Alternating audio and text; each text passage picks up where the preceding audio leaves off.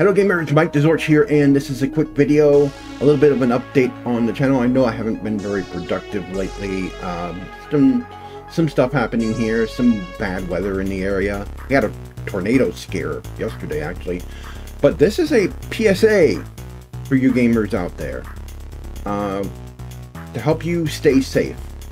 Now, there is this thing out there called two-factor authentication and it works in various ways. You can either get a notification via email, they will send you a code that you would then use when you sign in with your password, or there is one that MeWe uses where they send you an email and they you click a link to authorize that it's you and they don't use a password at all. And then there are tokens and what you would do is you would set up some kind of software, usually on your phone, and it would handle all your tokens. And what this does is they give you a key. You enter this key in, and it will then generate a random set of numbers, usually up to six or more numbers. And then when you sign in with a password, it will then, the site will then ask you for the number that's currently on your phone. And you look it up and it refreshes every like 30 seconds or maybe longer depending on you know which one it is. Most a lot of services use it online. PayPal uses this a lot. And you would enter that in and you would sign in. Final Fantasy uses this too. You can use it through Authy. You can use it through Google Authenticator um, any kind of app that allows you to have those tokens and then there's Steam Guard, and Steam has their own app for this, although I wish they would let you use your own um, thing like Authy, whatever. But it's not 100% foolproof. Uh, the um, the guy that runs TechAirs, Techaeris, he had a problem with 2FA uh, failing on him, and he had to contact a fraud department with a company. And it's not foolproof protection, but it is definitely better protection than just a password. Just a password that can easily be intercepted, can easily be figured out, because not everybody uses a really secure password.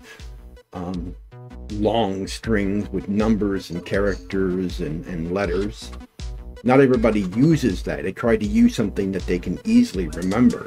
I know I'm, I'm pretty bad for that. But um, 2FA adds an extra layer of protection, and it is like any type of security, it is not 100% foolproof. It is not unbreakable. It can be broken. It's harder to break. It's a lot harder to break than a regular password but it is at least a layer of protection. So if you use Steam or if you are on, say, um, the Epic Store, if you're on the Epic Store, it uses 2FA. Steam uses 2FA with Steam Guard through their own Steam app on the phone. You use PayPal. If you play Final Fantasy XIV, you can set up um, their token on Authy so that when you sign in to the Mog Station, you have to enter the code to get in. And, and you get some bonuses for using 2FA too. Some games, if they offer 2FA for it, use it to protect your account, especially if those games have microtransactions and you want to protect your account and protect your payment, um, protect your stored payment method that you're using. Definitely use 2FA wherever you can. Again, while it is not a foolproof method of protection, it is not, you know, unbreakable. There's nothing that's unbreakable. Even YubiKey, which is a, a physical token device that you plug into a USB port when you sign into a service, even that is not completely unbreakable. Even that is not unbreakable but it is way better protection than just nothing at all. Way better protection. And right now, the way, way things are right now, you need to protect your accounts. Because, you know, if you have big libraries like I do, you need to protect your Steam investment. or if you have a lot of games that you bought off of, say, the Epic Store, if you use PayPal a lot, or uh, if you um, you have Amazon Prime, Amazon does 2FA. Use it everywhere that you can, especially on your game accounts where there's microtransactions and you have uh, a, a, payment method stored in that account uh, for that game. Definitely use it. Look at all the games that you've signed up with, that you have to sign in with an account for and see if they offer 2FA. If they do, get something like Authy or Google, Google Authenticator, see if see if it works with those, and it probably will, and then set it up. Now they will give you a special key that you need to that you need to keep. That was sort of a backup so that in case something goes wrong, you can still get your into your account.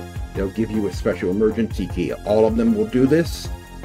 So make sure that you pour that down and then you put it someplace where you can find it. You know, write it down if you have to and put it in a, a card or something in your wallet or or uh, put it on a USB stick and hide that stick in a place where you know where you will be able to find it. But keep those keep those keys because they're vitally important. But can't stress this more. This it's not foolproof protection, but at least it's better than just a bare plain password. And the way things are, are right now, you definitely need to protect yourself. I'm not saying this because anything happened to me, but I saw this happen to Techaeris, and um, I thought, you know, this is something that gamers need to know because people's accounts are getting hacked into in games um, there have been people who have had their Steam accounts hacked into, and so every little bit of extra protection helps. Hope this helps you out. Hope you learned a little something, and uh, I'll see you in the next video.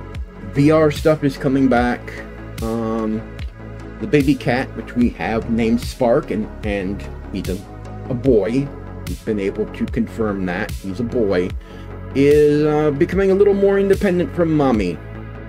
And he is a little beast. He's a Helligan.